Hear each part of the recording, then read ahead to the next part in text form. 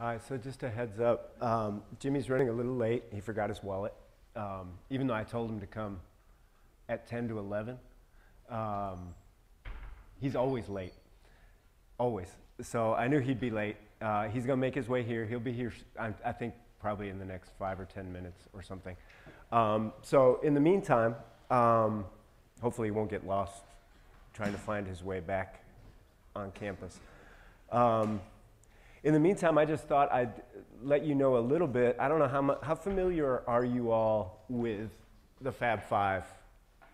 Do you, is this a thing for you? This all happened before you were born, so I don't know. How many of you seen the documentary?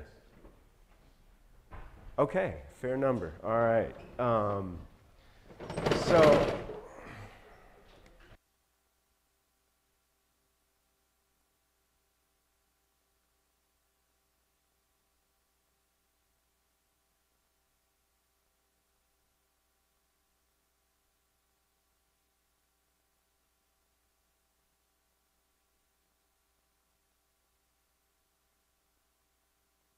There we go. Okay. All I really want to tell you is how it is that it turns out that Jimmy King is coming to our class, because I think it speaks to um, the kind of person that he is. Um, about five years ago, uh, yeah, yeah, five years ago, um, just now, um, I was teaching a course um, that I teach in the residential college called Cultures of Basketball, and I was going to have my students watch the documentary. And so I sent a tweet out to Jimmy and Jalen and asked if they wanted to come to my class. Uh, and I just thought, of course, they're not going to come to my class. They're not going to even notice that. Um, but Jimmy replied and said he'd be glad to. He's the only one of the five who's still local. Um, and um, so he replied, and we worked it out so he could come to my class and he was really amazing, um, really generous with the students. He was very candid. He'll answer any question you have, so you should bring what you have to ask. What you want to know, you should ask. Um, he'll answer questions, he'll argue, and, um, and he will inspire. He was a great mentor to those students five years ago, and then he has um, come every year since. In that class, we do an end of semester intra class three on three tournament, and he has played in every one of those tournaments on my team. Um, so he's a very generous individual. And so when I said a couple weeks ago that I think of him as a University of Michigan treasure, I really mean it. Um, you know, we, in athletics, we admire the students who represent Michigan on the, in different athletic competitions, and alumni admire them, and they generate donations for the university. Um, and that is all really a service, and, and that's great. Um, but to have somebody 20 years, now 25 years later, who in many ways um, kind of was on the wrong end of the system of intercollegiate athletics, still feel um, a loyalty and an allegiance to the students at the university and a desire to give something back to them, um, I think is really remarkable. Uh, he doesn't get paid to do this, just like he didn't get paid to play ball uh, when he was here, even though he was part of generating revenues and opening the door to licensing and merchandising and all those kinds of things. So, um, so I hope that you will appreciate the time that he gives us here today and, and make the most of it. Um, in the meantime, I thought until he gets here, any questions for me? I mean, I'm not Jimmy King, even though I'm wearing his jersey today. But I, I can answer questions. You can ask me anything.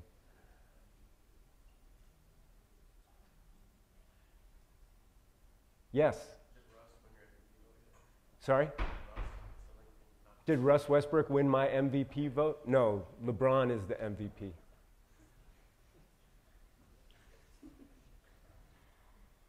It's a good question, though. Yeah, I'm taking the unpopular vote. Other questions?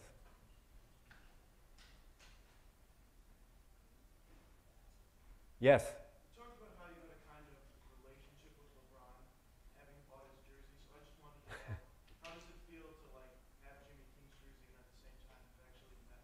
That's a really good question, actually. I've been very torn about getting, I'm always torn about buying Michigan gear. Um, I, I don't buy it um, typically. Uh, I think I've bought two items um, in my 25 years at the school for the reasons we talked about because you know that money isn't going where I think it should go. Um, so I've been torn about that. Um, I actually have in my pocket a check that I'll give Jimmy for this jersey um, so that the money goes where it's supposed to go.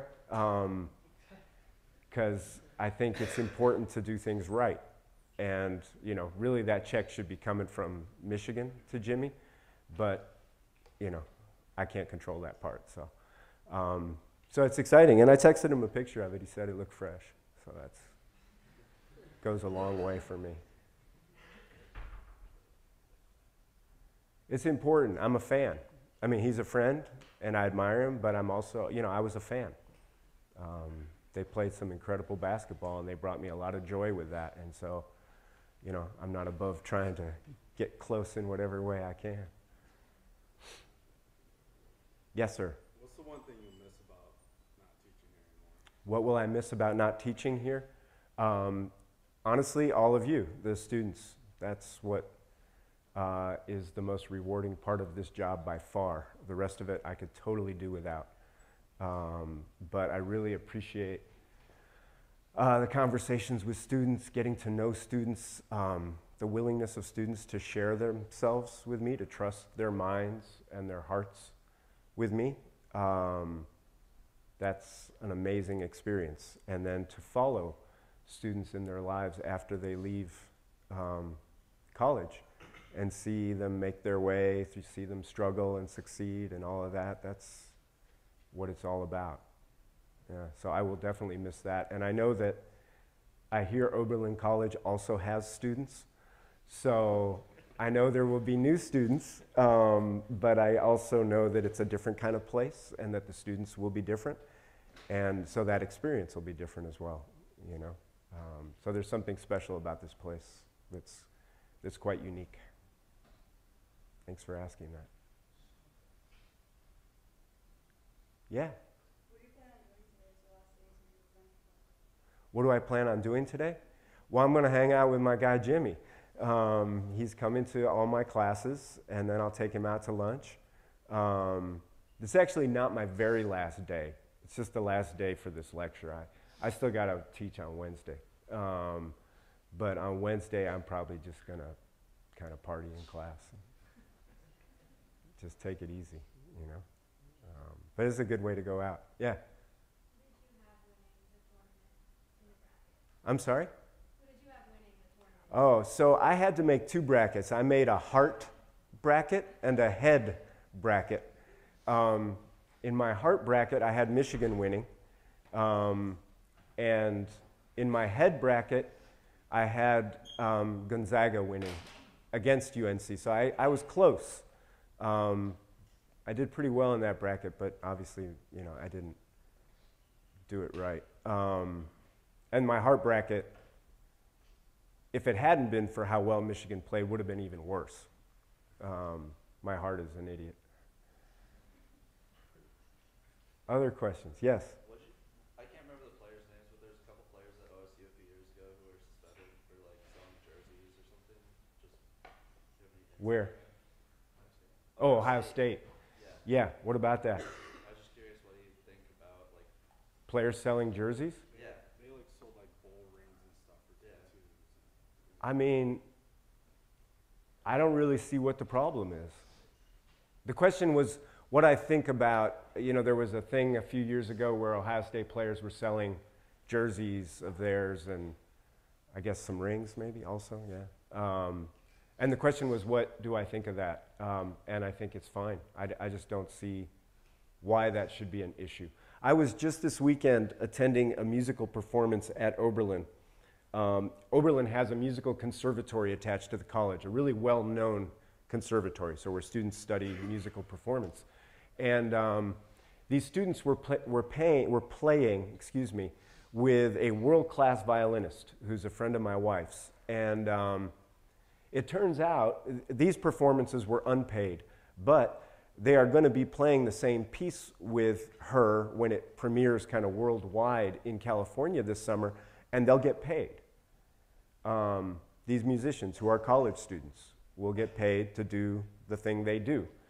Um, so I was talking with the conductor and saying, you know, that's interesting. Like they will not um, renounce their amateur status. They can still come back and play amateur gigs at Oberlin College um, and enjoy the experience of being in college.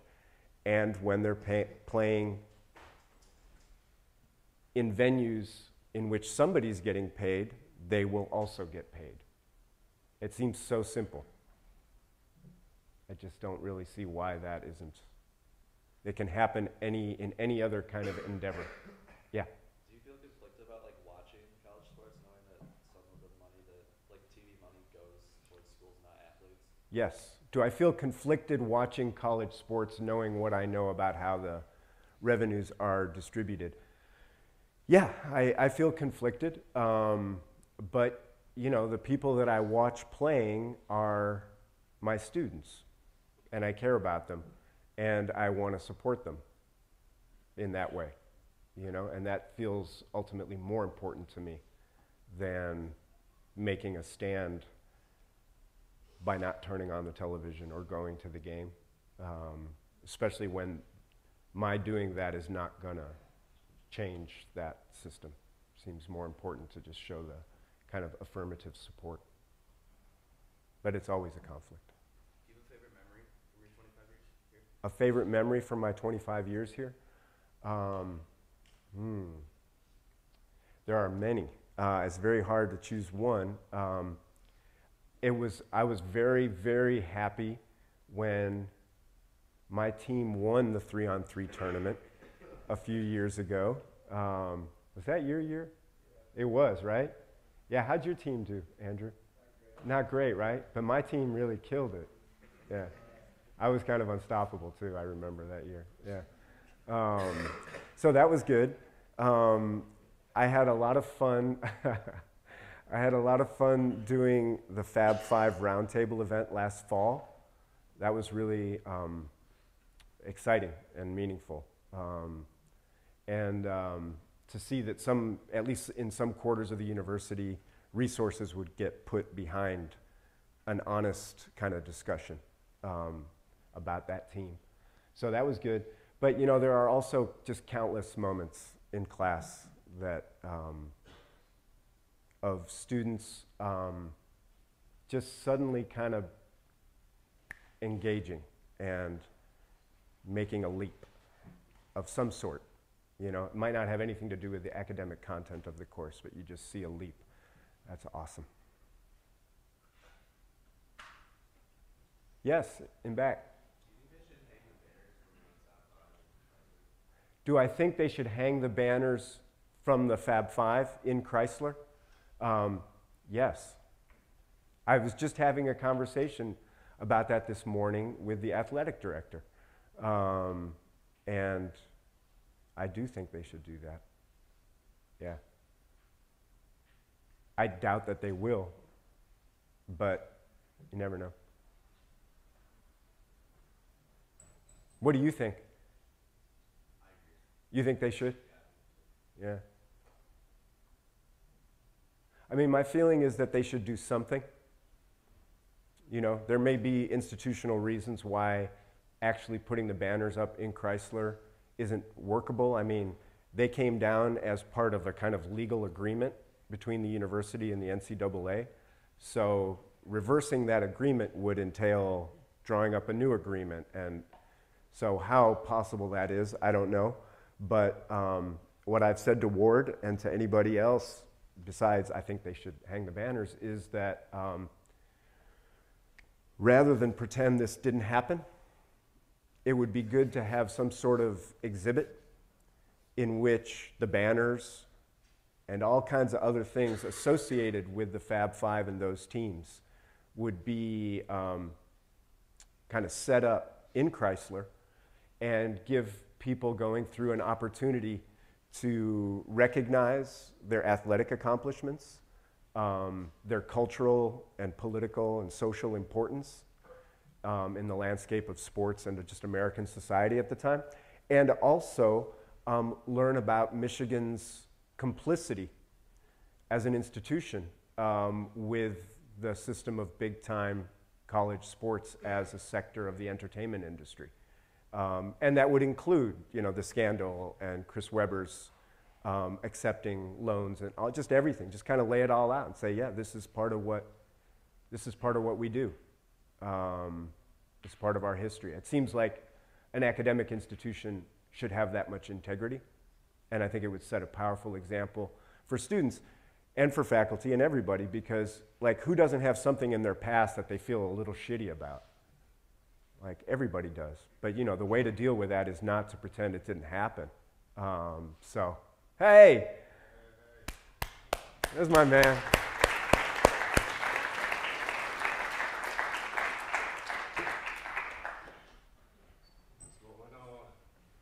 What's up? It's good to see you. How are you? Great. I got a mic for you. Thank you for coming.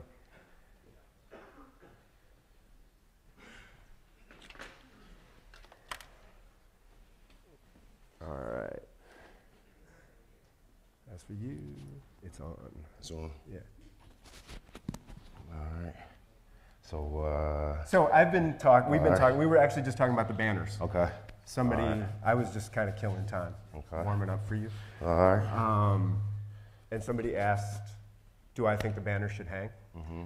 And I said I thought they should, but that I thought it would be a difficult process, um, but that there might be other ways too to recognize the team. So, but what I really want to do is just open it up. I told them that you would answer questions, Okay. argue with them, inspire them. so the floor is open for you all. I'm just going to take a seat over. You All right, sit wherever so, you want, um, or you stand, or do what you feel, Jim. This is sturdy. This is sturdy. So, um, any questions? I mean, I, I guess Yago, you know, gave you guys some of my background.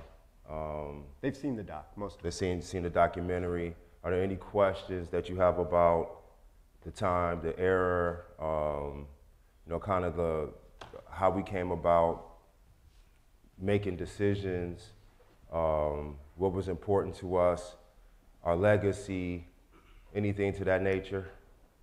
Yes, sir. Um, you guys were seen as like superstars and just like worldly figures. Uh, what was the transition like going out of college into like a, another life where you're not like the focus of attention at all times?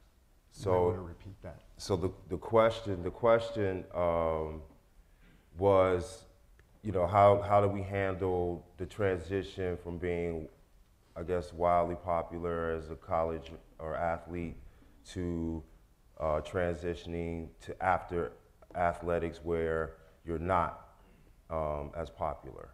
And for me personally, it's an easy transition when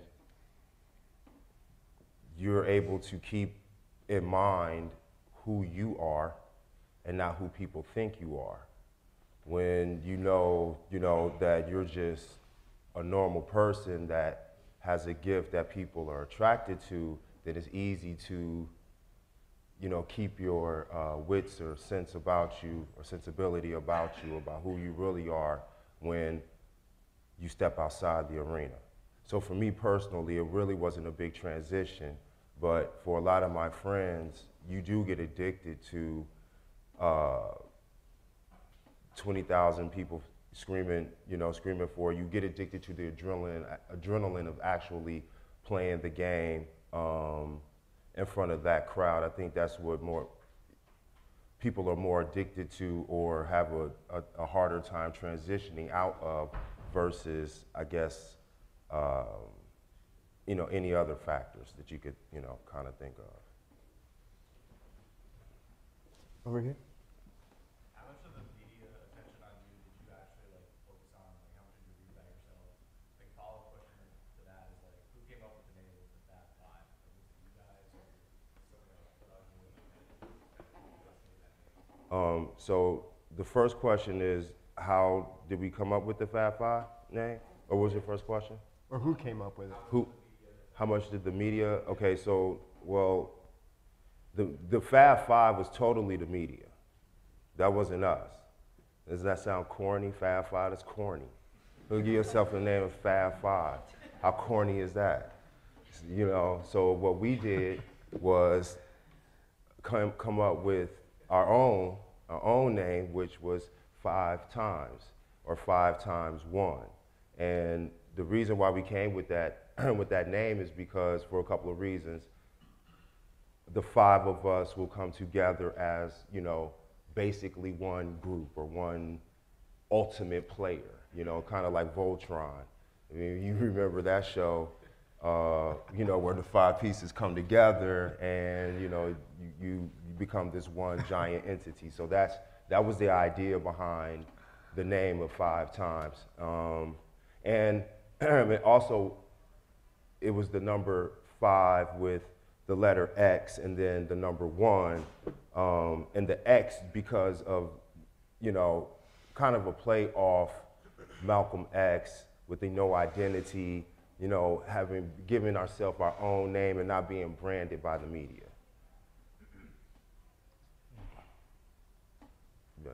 Talk a little bit about recruiting, how you got recruited to Michigan. Recruiting. So the question is how, how I got recruited to Michigan. And I, this is this is this is going to sound this is also going to sound corny, but this is the truth.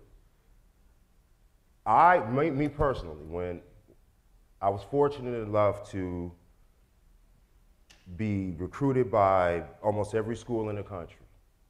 So there were a lot of processes that were followed. And Wait, can I interrupt a second? yeah, yeah. What you all don't know, probably most of you, is that Jimmy was also academically superior. So he also, and this might have been part of what you were going to say, but knowing you, I doubt it. um, you know, there were also opportunities to play at Ivy League schools or at MIT, and he had a real serious interest in his studies. So there was a real kind of tension there, I think, with some of the, with that kind of array of options. hmm So um, I had the luxury of seeing being recruited academically and being recruited athletically. And so most times they don't know one of the other, they're siloed. So Harvard, MIT, you know, schools like that are knocking at my door like, okay, you qualify academically, but oh, you also play basketball. And then basketball, they'll come recruit me and be like, oh, you're a great basketball player. Oh, your grades are this, you qualify for that. So I got to see both worlds. And the reason why I chose Michigan is because it was a marriage between both worlds, in my opinion. But also, the biggest thing, and this is the thing that I've never really told to many people, is that I chose Michigan because Michigan is the only school that didn't offer me anything. Meaning anything under the table. uh, under the table or over the table. Michigan was like, we, we, we'll promise you a great education a good experience. Everybody else came with the, yeah, we, you know, you know, well, white on white candy bins or, you know, like know, G4 or, you know, I mean, like seriously, it was off the charts. Like the, the, the, the, the black, the black bag you hear about, that's, that's real. So the for me, the really the separation. And You think about it. Um, if everybody comes to you the same way, and that one person comes to you differently, it's going to stick out to you. And I did my research and homework, and that, that's that was the difference for me, for Michigan. Can you, talk a little bit about like from when you just got to Michigan, like through like now? What's your relationship with the other guys that were on the team? What's that like? And It's a brotherhood. It's a brotherhood. The, the, the, it's a brotherhood. And, and to this point, going from here to now, um, I was just with Ray this weekend. Um, and Jay, I'll see him tonight, actually. He, he's flying in right now. Um, the, the only difference is now that I think the the bond that we have isn't just basketball and the history that we made together. It's being there and being a um, uh, being like a brother, just being like a family member for his daughters or their daughters or their sons. You know, um, really truly stepping into the role of adulthood. Um, being on campus, we don't really have a lot of responsibilities. I mean, your responsibility is to, is to get to class, do your work. You know, you may have um, uh, rent, uh, um, and then you know some some living expenses, but hopefully, we get you have some help, and that is what we relied on each other for was to help each other. If I got it, you got it, and so that's what we're trying to kind of uh, show as as who we are and what what we do uh, as as adults now. So I don't know if that kind of answered your question, but um, that's that's kind of how it's similar, but uh, our focus is just a little different from, I guess, being basketball uh, non-paid entertainers to adults uh, trying to uh, create uh, a community spirit across a broad base of, of people. Vince. What's going on? How was your experience uh, just throughout the hypeness and throughout getting super famous? How was your experience among your brothers and your teammates, and how how did throughout that experience that it kept you all so close together and, and tight as a as a close group of friends? Um, I think I think the thing that kept us close together is, is, is it was the the genuineness between us that I think kind of permeated through the through our performance on the court. Um, I think you know you can't fake that type of connection and, and bonds. And of course, you know everything isn't perfect. Everything wasn't perfect, but I think the common bond that we uh, that drew us together was strong enough to make us put any of those things aside. And um, you know, even now to this day, uh, we, you know, we still have some some issues between us, but I still hold out hope that you know we are smart enough, we are you know mature enough to handle these situations and to, you know, whether it's 10 years or 100 years, that we keep working to better the situation and, to, and to better ourselves. You know, it's just like, you know, I was fortunate enough to, to speak with some guys from NASA this weekend, and, you know, what it made me realize is that they may be working on something all day, every day for the rest of their lives, but it may not even, their work may not be recognized until they're long gone. Yeah. And so I think that's, you know, kind of collectively what we are, what we do, what are we going to leave as our legacy together, you know, for this era, because it's so wide open right now. And, you know, with these, all these collective intelligent, bright minds in here, we can do something um, historically that always has been done here. The University of Michigan is rich in history and, and changing courses of political and economical uh, type of uh, dissensions and kind of limbo or gray areas. We've always been leaders into directions of which way to go.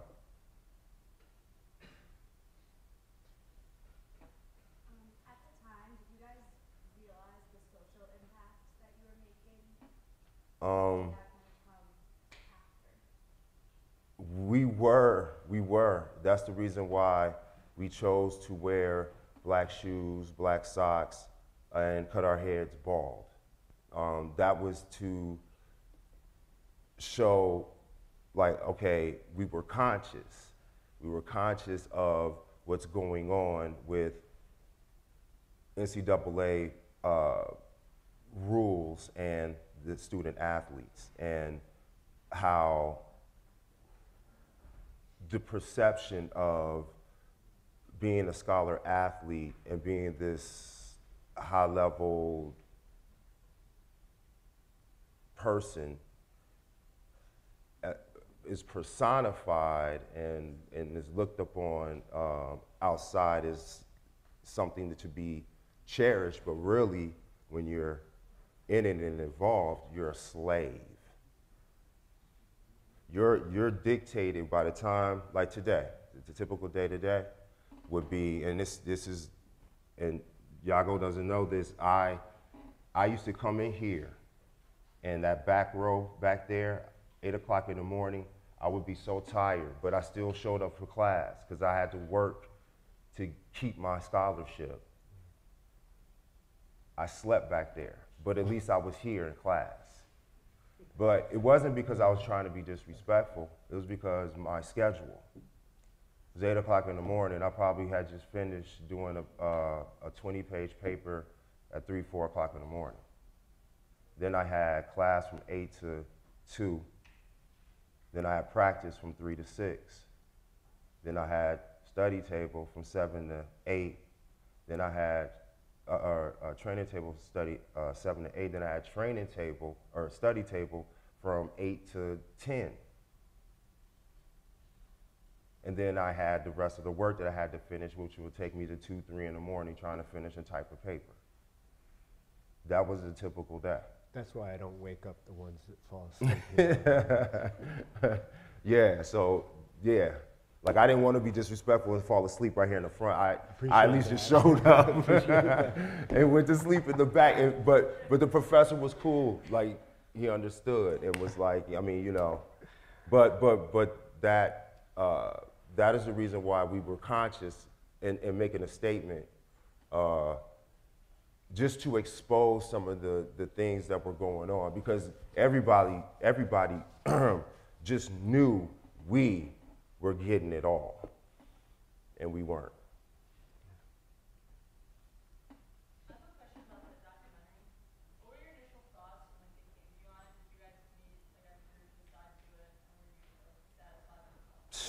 You know okay. So my initial thoughts are this right?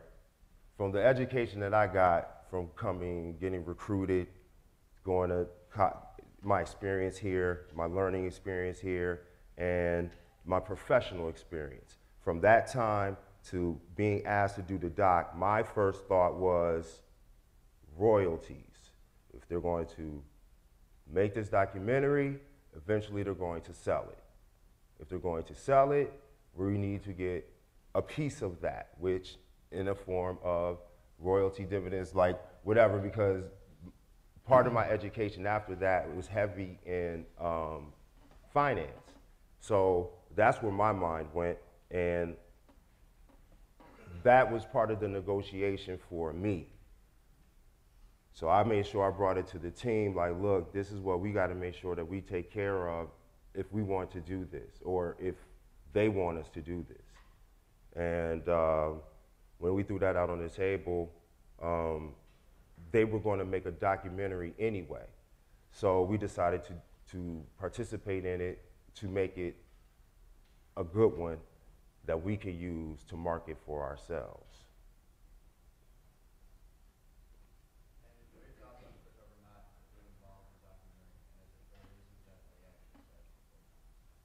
Yeah, we, we offer. eh, I put you like this, and I told I, I told Jalen this yesterday because I did Jalen Rose's show last week, and we were talking about why he couldn't come here for the bicentennial celebration this weekend.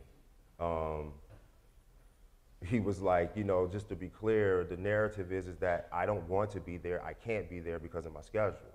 So when people say we reached out to Jalen Rose, but he declined, is kind of not true. They reached out to him, but he declined because of his schedule. And so, uh, you know, we I, I got off track. What's your question again? What was your question?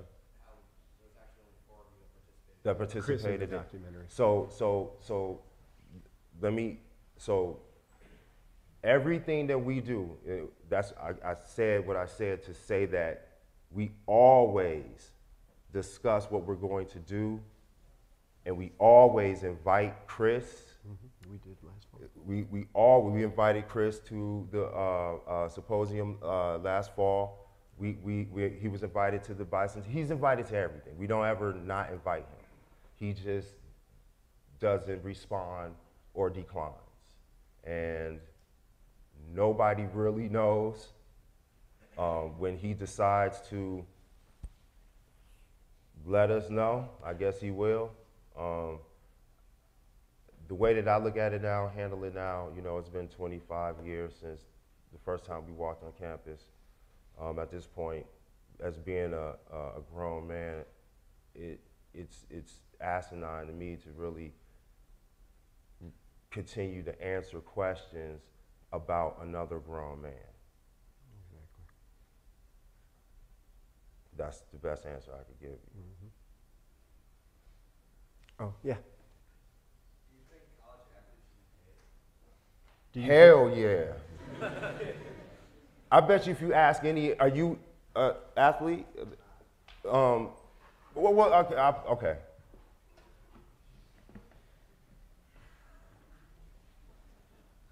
Do you think? Do you think they should be? Do you think they should be paid? Probably. Probably. Okay, so I'll put it you like this: Do you have a job? You will in the summer, but you can't. Can you? But you, choose. You can. You can have a job now, right? Yeah, You could. The athlete during the season cannot.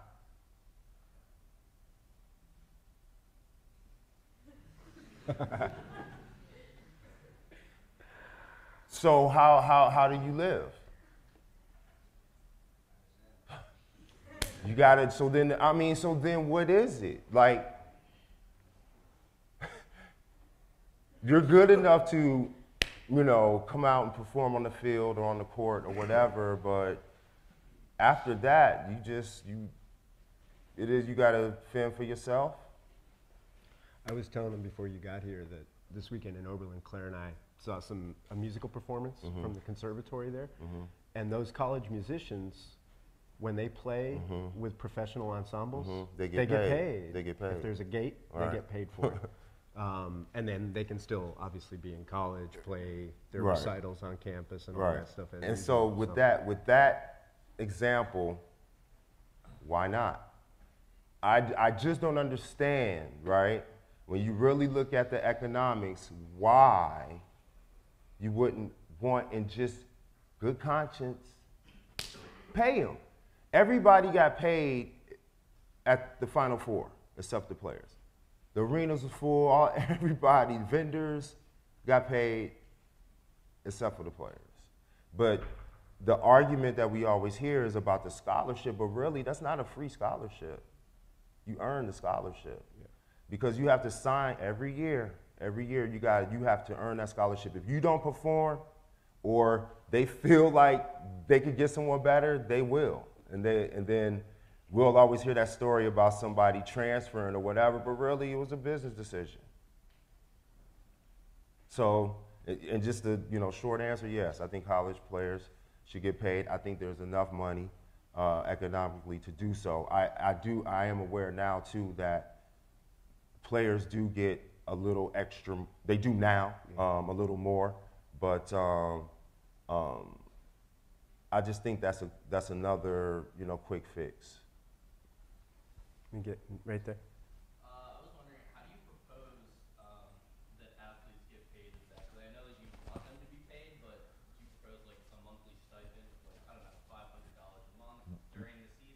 Uh,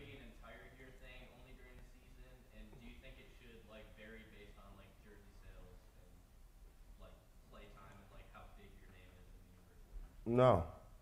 They don't look at it, they don't break it down that way when they fund, when the athletic department looks at how they budget the, the, all the athletics, it's the same. When you look at the spreadsheet, all right, you have your losses, you have, you know, your you, your gains, all right, just a simple budget, all right, if you just look at a simple budget, you can clearly point to where you're losing money, where you're gaining money, and you can also look to how, how to fund the entities that support that. And so in, instead of lining, or I'll put it, I'll make it even simpler. We have two of the highest paid coaches in the NCAA right here on campus.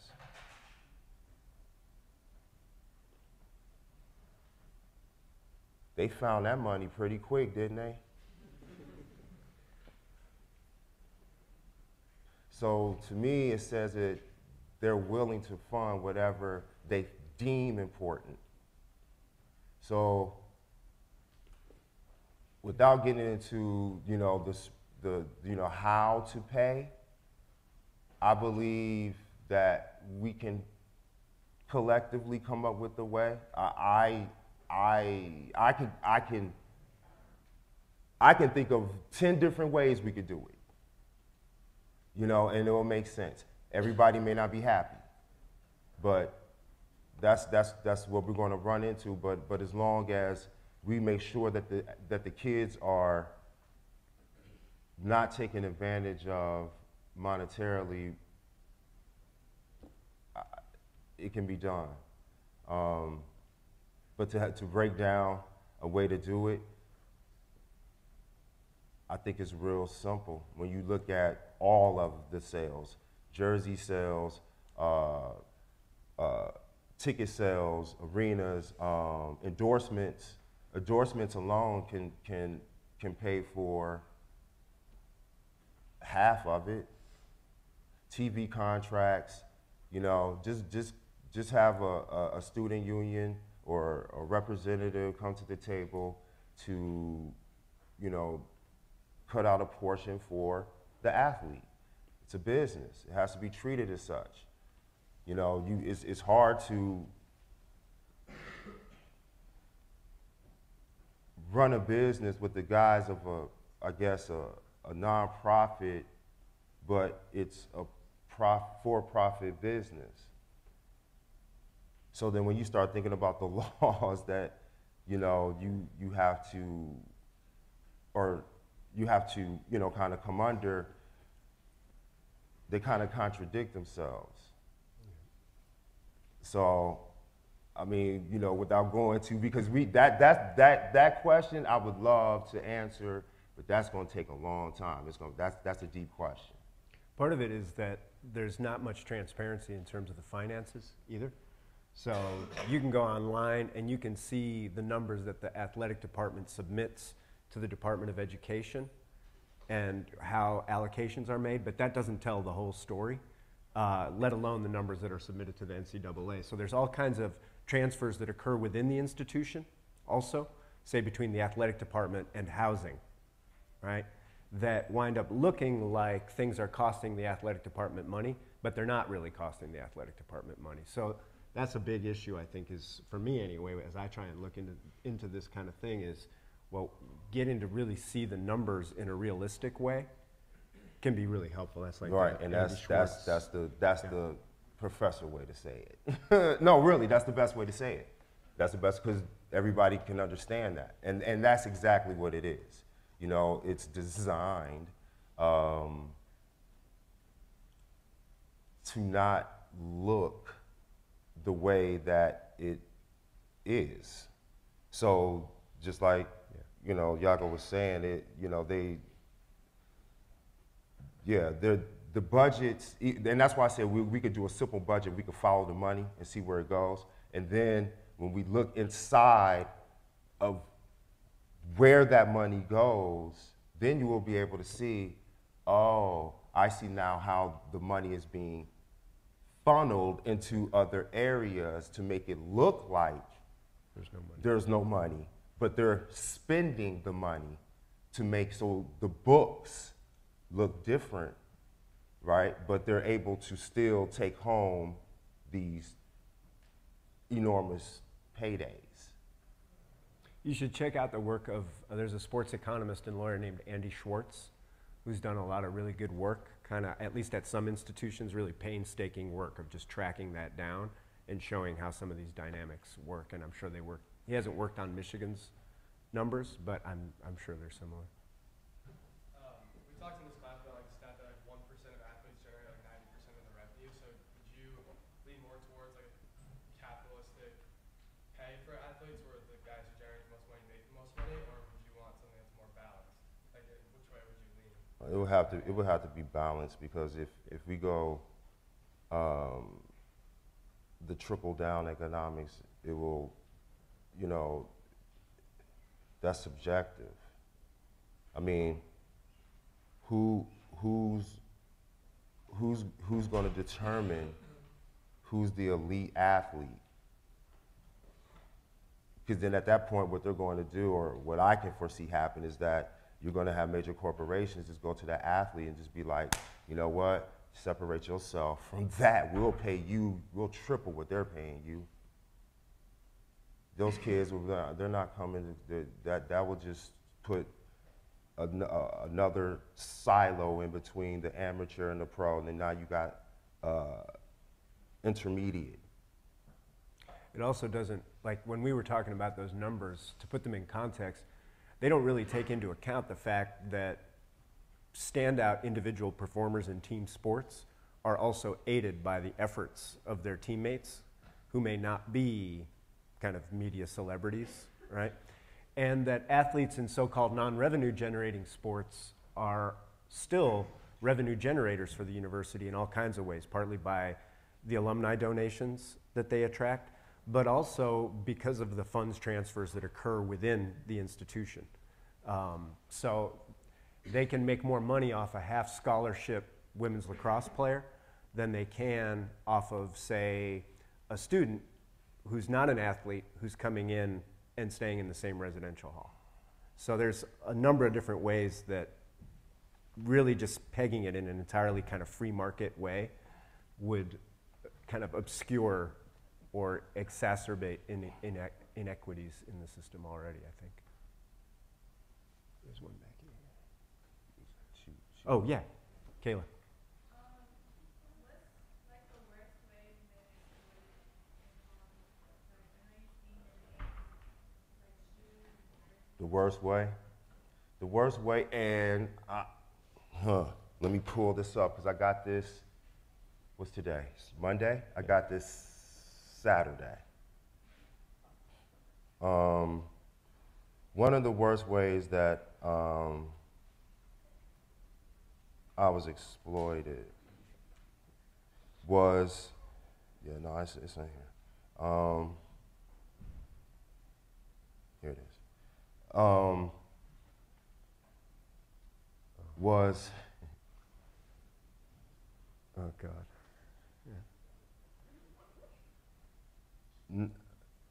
So today when you see Nike, Adidas, Under Armour sponsoring schools, it's, it's normal. It's like that's the norm. 20 years ago, 25 years ago, to get a Nike contract was like, you're it. Like that's why they came back and was like, you know what? Y'all started it. We got to rebrand it. Y'all are it again. So what, what, what that was like is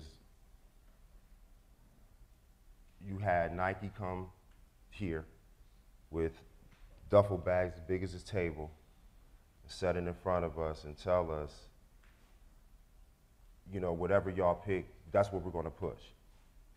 So in our mind, we're like, okay, well, that's cool. But the reason why y'all are doing that is because y'all are basically treating us like unpaid consultants. Y'all want us to go dig through the stuff y'all can't figure out, figure it out, and then put it on us, and then y'all are going to sell it. How do we benefit from that?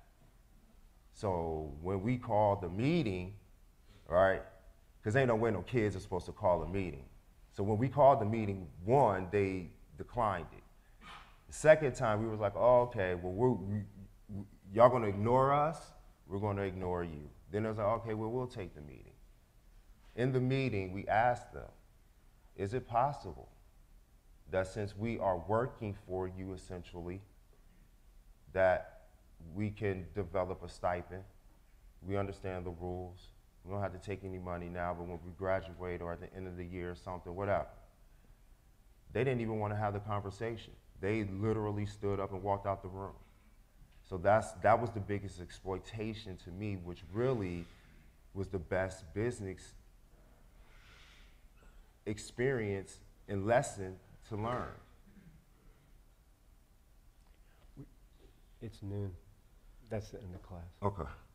They gotta go. um, Another class. yeah. Thank you guys for a fantastic semester. Really appreciate you.